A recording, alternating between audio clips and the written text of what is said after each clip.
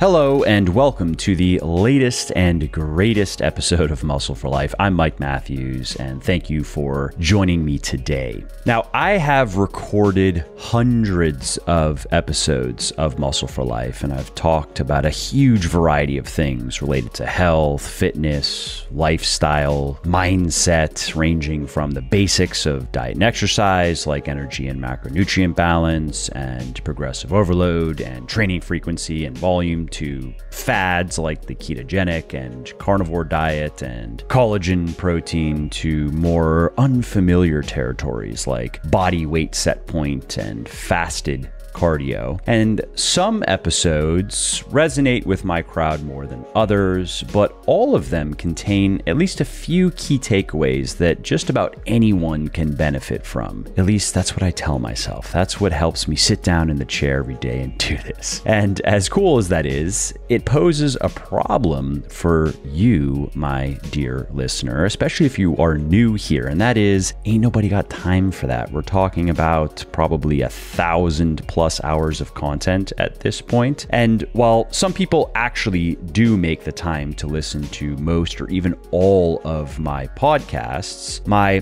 whizbang analytics tell me that while many listeners tune in on a regular basis, they don't catch every installment of Muscle for Life, and thus they miss out on insights that could help them get even just a little bit better inside and outside the gym. Because if you just get a little bit better consistently enough, that can add up to big results in the long run. And people have also been telling me that they would like me to do more shorter, multi-topic episodes like my Q&As and says you episodes. And so I got an idea. How about a best of series of podcasts that contains a few of the most practical and compelling ideas, tips, and moments from my most popular episodes, going all the way back to the beginning. This way, people who are new in particular can quickly determine if this is the droid they're looking for, if this podcast is for them or not. And then those who are regulars and enjoy what I'm doing, but just don't have the time or inclination to listen to all of my stuff, and I do understand that. I don't take it personally.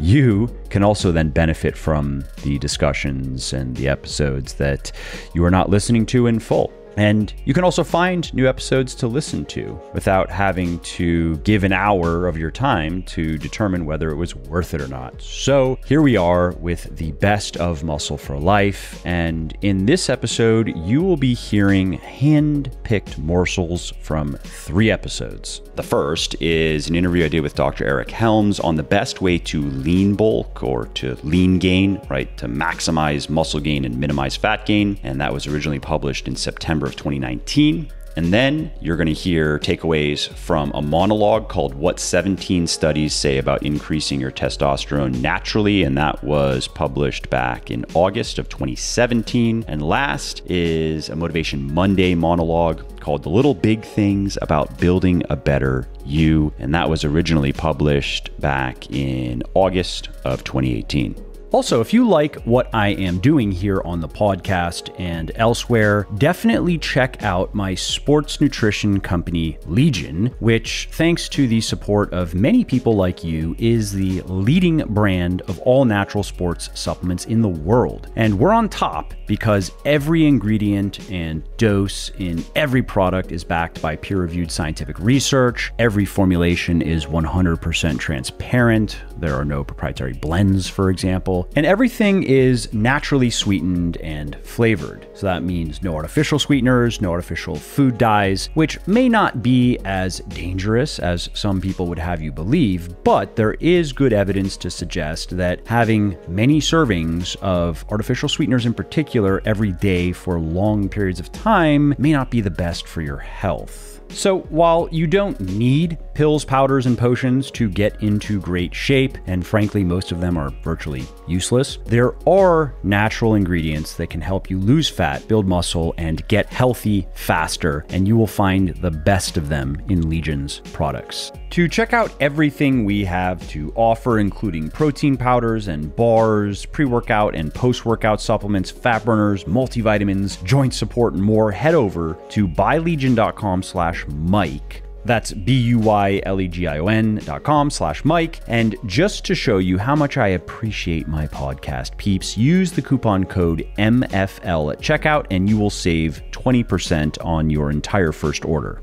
Okay, so let's start with the highlights from the interview I did with Dr. Eric Helms on the best way to lean bulk talking about bodybuilding today, of course, and specifically, I guess we could say lean bulking.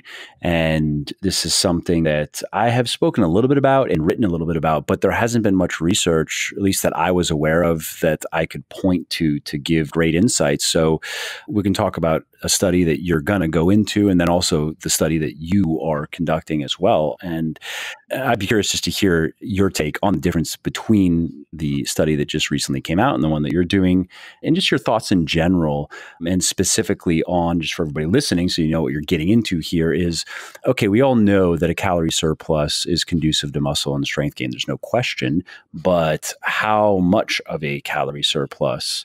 And is a much larger surplus better than a smaller one? And what can we take from that to optimize our lean bulking or bulking phases, right? Yeah, Mike, that's a great setup to the question because I think we really need to get into a phase in the hashtag evidence based community where we have a little more nuance around this topic. You know, it wasn't too long ago where you'd hear voices in our community say something like, if you want to gain muscle, you have to be in a calorie surplus, or if you want to lose fat, you have to be in a calorie deficit. And especially that latter statement, is it's largely true, but it's much more complicated than that. I mean, we've all seen like the biggest loser where you see someone who by the time they've lost a lot of body fat, they've clearly built muscle. Or we see those kind of transformations as trainers where we have someone who's novice off the street comes in, they're at a higher body fat percentage. And by the time they've lost a fair amount of body fat, they've also gained a ton of strength and muscle mass. So then, you know, the conversation progressed towards, oh, okay, well, if you're overweight, it can happen. But an interesting thing that we see in the broader literature is that anytime you take relatively untrained individuals, which is most people in studies, even the quote unquote trained folks are, are relatively low training age for how we kind of see things in the bodybuilding and strength training community. If you just put them on a resistance training program and do nothing with their nutrition, no intentional manipulation of it, just they kind of eat ad libitum or do their thing, people tend to maintain body fat and increase muscle mass or decrease body fat percentage via their lean body mass going up and body fat going down at the same time. And just so people understand, why is 11 subjects a disadvantage? Just for people not familiar with research? Absolutely. It's a fantastic question. So, anytime we do research, the goal is to make some kind of generalization about the population it's representing. So, if I want to be able to state confidently to all, you know, my brothers and sisters in iron, hey, here's what probably makes sense for you to do, but I'm extrapolating from only 11 males, there's a certain amount of uncertainty of whether or not that's a representative sample. So, for example, you've got 11 people. That means you've actually got a group of six and a group of five. And if you think about, okay, I've got five people who I selected at random from bodybuilders. What if one of them is a hyper responder to the protocol? Or what if one of them got sick during the study and didn't tell me? Or what if one of them didn't follow the protocol? Now, 20% of my data is off, you know, and that can really quite easily skew the group average. Or what if one of them lied about drug use? Sure. Yeah. I think that's really unlikely just because why would you volunteer for a study?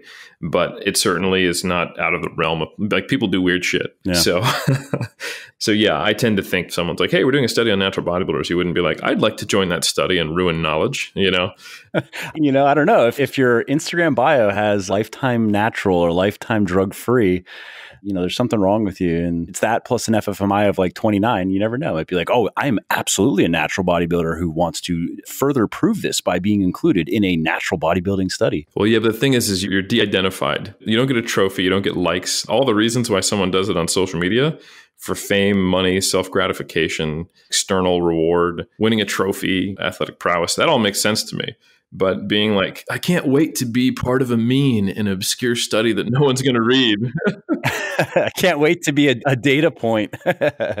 no, no, it's totally true. It's immediately what popped into my mind. So if you think about it from a practical perspective, you know, the person who's gaining fat mass at three times the rate of the other, they're going to have to do a mini cut constantly, you know, like like every couple mesocycles, and they're going to end up being in that hare versus the tortoise scenario where they end up gaining less muscle mass over time because they have to come out of that surplus constantly. So I think it maybe makes sense for someone who is just doesn't care, uh, or is it a very very low body fat percentage already, and is just like you know what, whatever, I, I need to put on a lot of muscle mass. So young teenage males, perhaps early twenties novices.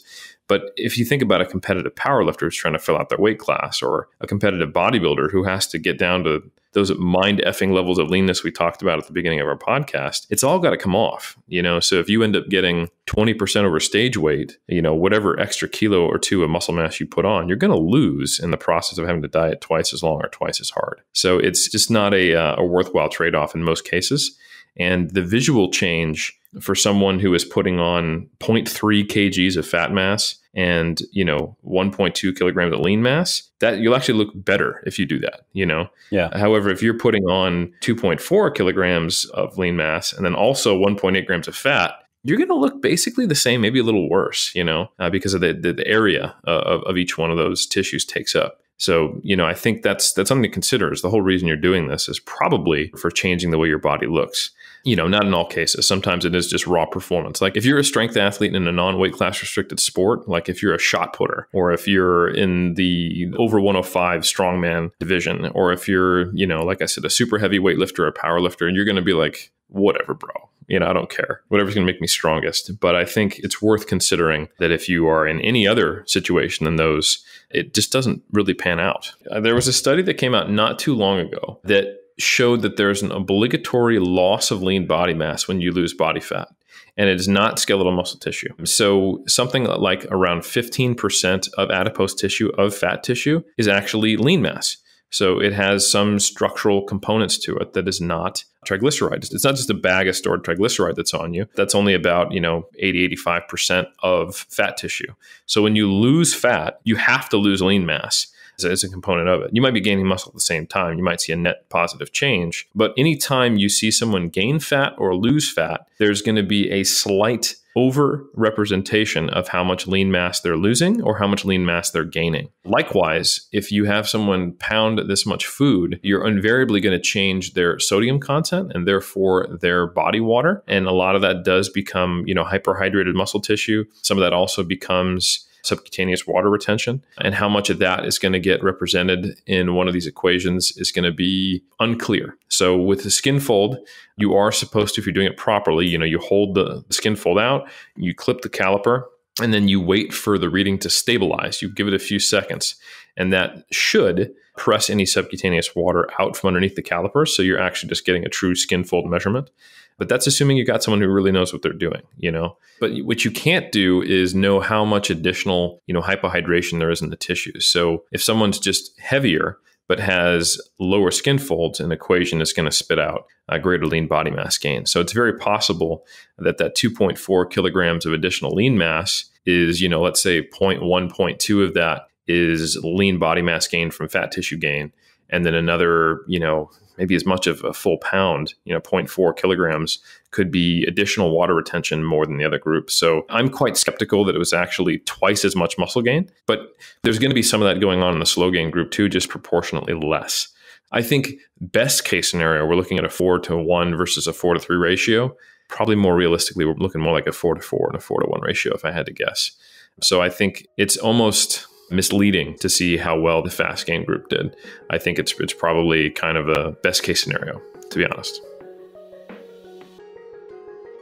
All right, well, that's it for the snippets from that interview, which again was published back in September of 2019, in case you want to go check out the whole thing. And if you liked what you just heard, I would recommend go listen to it. It was a great interview. I mean, I think all of the interviews that I do are great, of course, but the ones that I've done with Eric have always stood out in my mind, at least, as some of the most informative and practical fitness interviews that I've done here on the show. Okay, so now let's move on to the monologue What 17 Studies Say About Increasing Your Testosterone Naturally.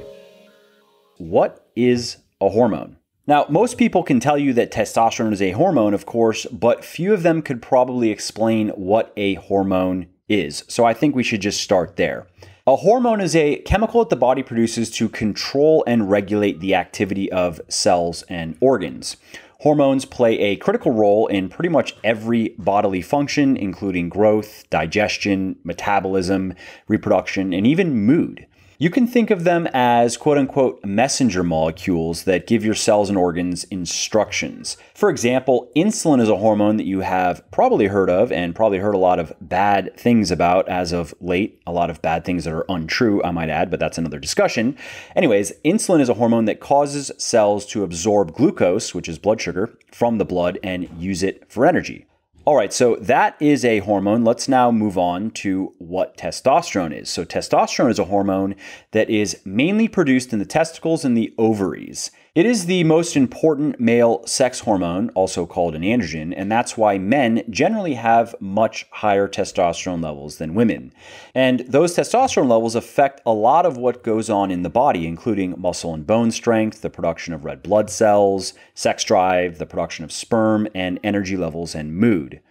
This is why testosterone's effects are very easy to see. The more testosterone there is in a body, the more manly it looks and functions. And on the flip side, the more of the female hormone estrogen there is, the more quote unquote womanly the body will be. Accordingly, when testosterone levels aren't as high as they should be, you can experience various side effects like low sex drive, erectile dysfunction, low sperm count, sleep problems, loss of muscle and strength, fat gain, brain fog, and depression. So, there clearly are plenty of good reasons to pay attention to our testosterone levels and really just do whatever we can naturally to keep them in a normal range. Another study worth mentioning was conducted by scientists at the Charles R. Drew University of Medicine and Science. And in this study, synthetic testosterone and testosterone suppressing drugs were used to manipulate the testosterone levels of 61 young, healthy men. This went on for 20 weeks, and in the end, researchers found that there was a dose dependent relationship between testosterone and leg strength and power. And that means that the higher the testosterone levels were, the greater the leg strength. But those effects were not significant until testosterone levels reached about 1,200 NGDL, which, as you now know, is about 20 to 30% above the natural ceiling. Now, granted, the increases in strength and power would have been higher if the subjects had been weightlifting, which they weren't, but those results are still telling. And for even more perspective, we can look at an extensive review of steroid research conducted by scientists at Maastricht University in 2004. What they found is that people lifting weights on steroids gained on average between about four and a half and 11 pounds of muscle over the short term, less than 10 weeks, and that the fastest muscle gain was five pounds over the course of six weeks. Now, that might sound impressive, but when you compare those numbers to what you can achieve naturally, which I'm going to record a podcast on soon, by the way, one thing becomes very clear, and that is if an anabolic drug cocktail that doubles or even triples your testosterone levels doesn't necessarily cause you to gain quote unquote shocking amounts of muscle, what then can we really expect to achieve with a relatively small increase? And the answer, of course, is next to nothing. Now, that isn't to say that you shouldn't take steps to increase your testosterone levels. Uh, I think you should, and we're going to talk more about that soon. But you should do it knowing that it isn't likely to help you much in your quest to get bigger, leaner, and stronger. Switching from a low fat to a high fat diet, it can boost your testosterone levels. That's true but not by very much. For example, one study found that men who got a whopping 41% of their daily calories from fat had 13% more testosterone than men who got only 18% of their daily calories from fat.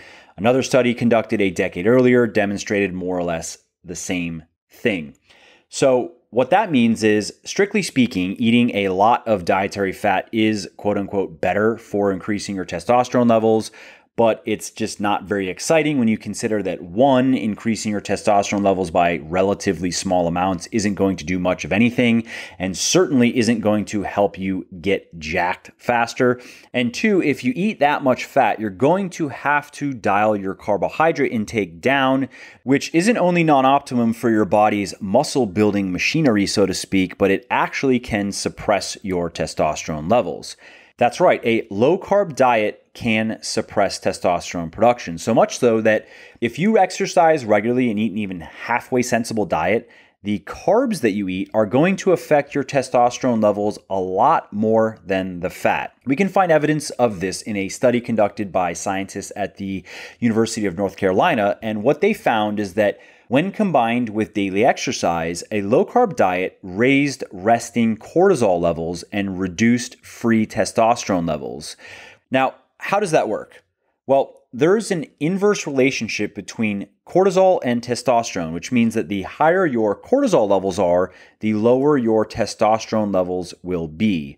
Therefore, anything that dramatically and chronically raises cortisol levels, like caloric restriction, overtraining, high levels of stress, and low carb dieting, it's also going to dramatically and chronically lower your testosterone levels. And this is one of the many reasons that I recommend a high carb diet if you're physically active, and especially if you spend a lot of time in the weight room. You see, it helps keep cortisol levels low and thus testosterone levels high. And the mechanisms in play here are actually pretty simple. If you eat a high carb diet, your insulin levels are going to be generally higher than if you were eating a low carb diet, and insulin lowers cortisol levels. So, in a sense, a high carb diet allows you to train hard without paying the price of abnormally high cortisol levels, putting the kibosh on your testosterone production. A high carb diet is more anabolic than a low carb diet for other reasons as well, but that's another discussion. So, here's the bottom line if you're physically active and you care about your health, performance, and results, and especially if you lift weights regularly, you are going to do far better eating a lot of carbs than a little.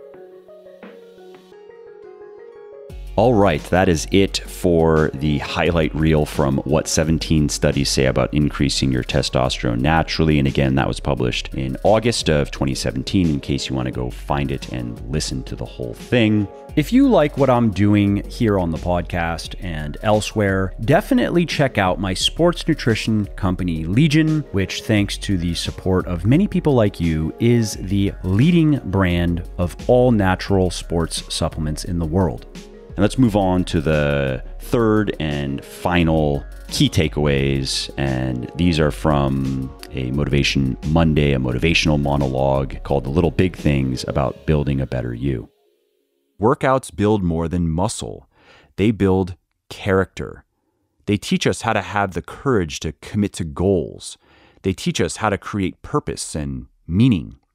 They teach us how to stop making excuses and finding reasons to fail. They teach us how to stop being a victim and take responsibility for ourselves. They teach us how to stop chasing magic bullets and quick fixes and embrace the process. They teach us how to get gritty and push through pain and adversity. They teach us how to value long term satisfaction over immediate gratification. At bottom, working out teaches us a very powerful lesson. If we have the power to change our bodies, we have the power to change our lives. That's why we train. We train because fitness is one of those special things in life that you can't buy, steal, or fake. There aren't any rewards for complaining or failing, and fitness doesn't care about your opinions or feelings. You have to give something to get something. You can't slide by on bullshit. It's called working out, after all, and for good reason. You either do the work and transform your body or you don't. This is a valuable lesson to learn because it's a metaphor for something bigger. No matter what you're facing in life, you have two choices. You can put in the work or get put in your place. The gym is also a source of learning because it calls on us to constantly attempt new things. It's a forum where questions are at least as important as answers and it cultivates what scientists call a growth mindset by teaching us that our abilities can be developed through dedication and hard work, a worldview that's essential for great accomplishment. The gym is practical too, not idealistic. It's a laboratory open to any and all ideas and methodologies, and it gives clear, unqualified feedback. They either work or they don't. In short, the gym can be so much more than merely a place to work out. It can be a refuge from the chaos around us, a world of our own that we create to satisfy dreams and desires.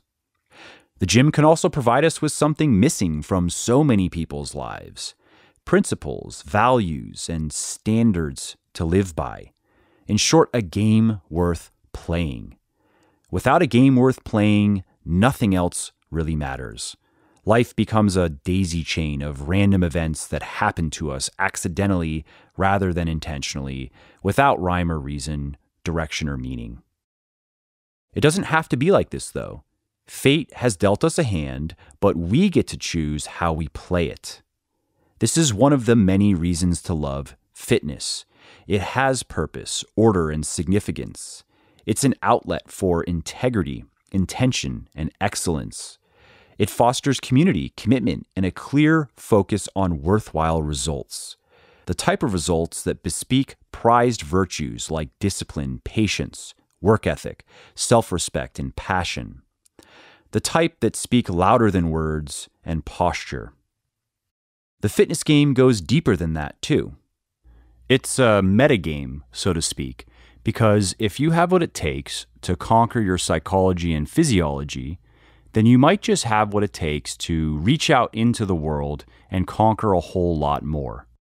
In short, the better you get at the fitness game, the better prepared you'll be for every other game you might want to play. What about you?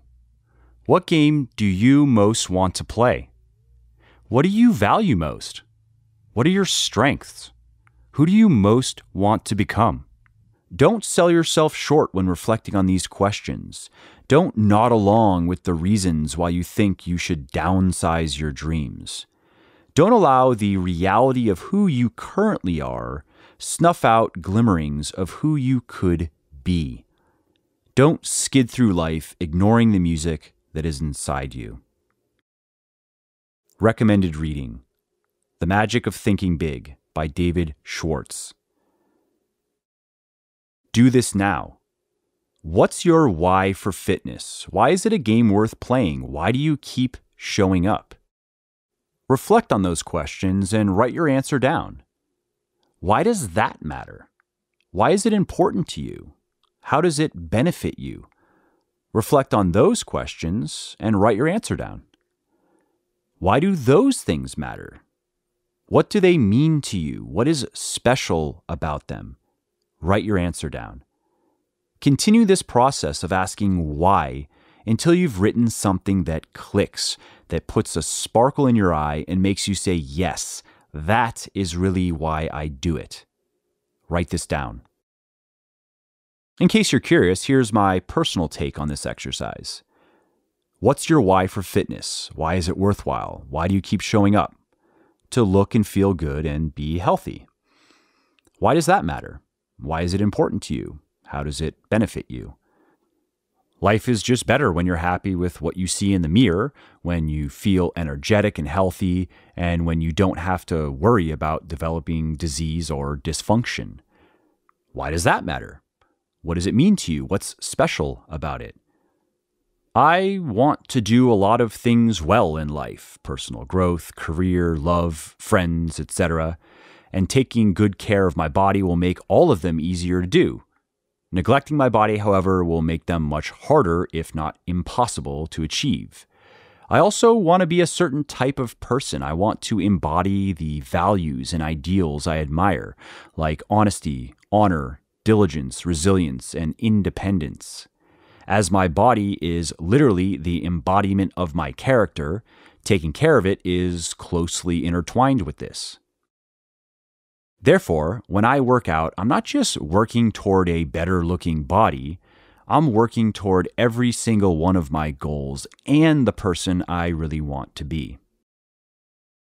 And that's it for the preview of the little big things about building a better you. If you liked what you heard and you want to go listen to the whole episode, it was published back in August of 2018. And that's it for this episode. That's all I have for you today, friend. Again, thanks for joining me today and tune in tomorrow for a Q&A episode on deload timing birth control and performance, and popular exercises I don't like. And then next week, I'm going to be talking about agmatine sulfate, which is a popular ingredient used mostly in pre workouts, but also sometimes in other supplements. And I'm going to be answering the question Does it live up to the hype? I have an interview coming with Sam Visnic on improving mobility and dealing with chronic pain, how to get rid of pain, how to at least lessen pain, how to work around pain, and then another Q&A where I'm going to be talking about mouth guards, compression clothing, and skipping breakfast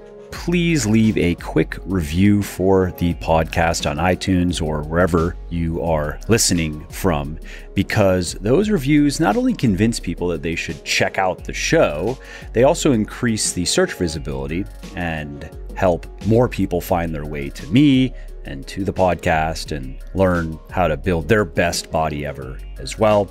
And of course, if you want to be notified when the next episode goes live, then simply subscribe to the podcast in whatever app you're using to listen, and you will not miss out on any of the new stuff that I have coming.